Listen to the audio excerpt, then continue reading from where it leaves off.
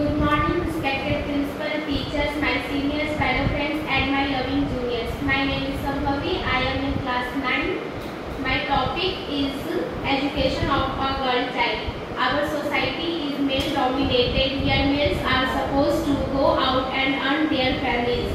Females are expected to live at home and look after the families.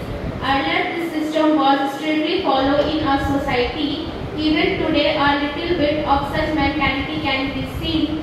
Education of a girl child was considered useless. But time is changed now. Social condition and requirements got changed. We are in race with fast developing nation. Now education of a girl child cannot be neglected. Nearly half of our population is of female. So along with boys, their girls' education becomes equally important. There are many advantages of educating a girl.